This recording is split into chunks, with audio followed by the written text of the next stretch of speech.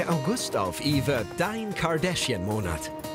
Ich kann nicht glauben, dass es passiert. Wir nehmen Abschied mit der finalen Staffel im Marathon. Das ist wundervoll.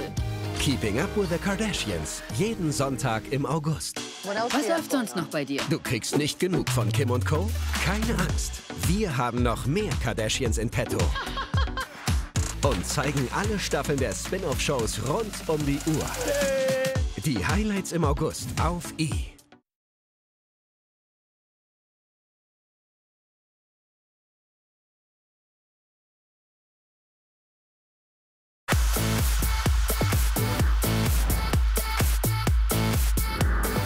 She's very shallow.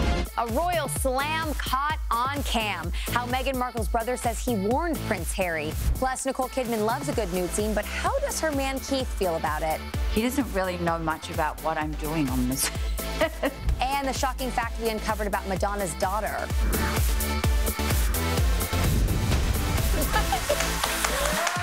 Shake off your weekend hangover and get ready for daily pop, you guys. We're talking ghost sex scenes and whether marriage is totally outdated. Justin is out still. I hope he's having fun. So I'm here today with Carnie Wilson and former NFL star Andrew Hawkins. Welcome. Yay. Thank you, thank you, thank you. Yeah.